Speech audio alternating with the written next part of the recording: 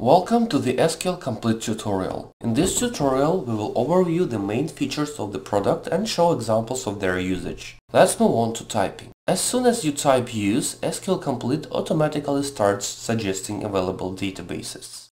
First, use a simple SQL snippet for the quote template SSF and then type PROD. We can sneak peek a table structure in the Quick Object Hint window.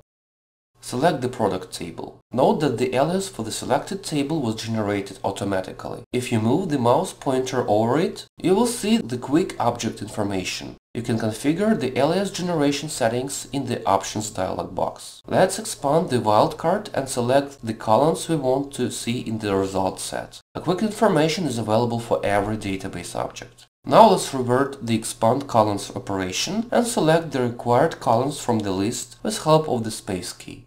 If you type join, you will get all join suggestions for the table that are based on the foreign key reference. Select join with product subcategory table. As you can see, a complete join clause is prompted. Column picker for a quick list building includes columns of all tables that are involved in the statement. Add a column from the product subcategory table to the select list. Now execute the query. Let's substitute nulls with zeros in the result. For this, apply the coalesce function in the title column. Now adjust the parameter info appearance right after typing the opening bracket. Set alias. Let's execute the query once again by pressing F5. As you see, there are no nulls in the result. Now let's format the document to beautify our query. To set up your own formatting style, select SQL Complete Options Formatting. Then select Profiles, Edit Profiles and see a wide range of customizable formatting options. Now let's take a look at the Go to Definition feature. You can quickly navigate to the table in the Object Explorer tree by selecting Go to Definition from the SQL Complete menu or by pressing F12.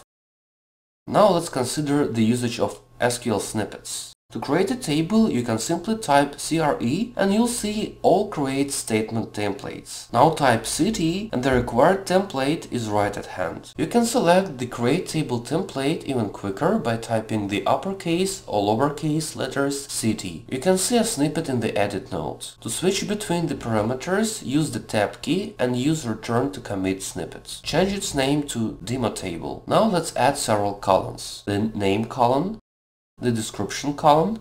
As you see, the column types are also prompted, and the modified date column.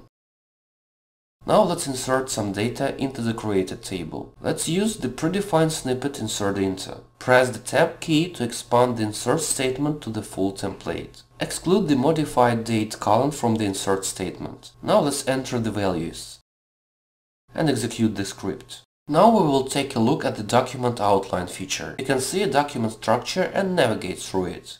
If you want to know what tables are created and modified in the script or would like to modify a statement, type table or the object name in the filter field and quickly jump to the code by double-clicking the object.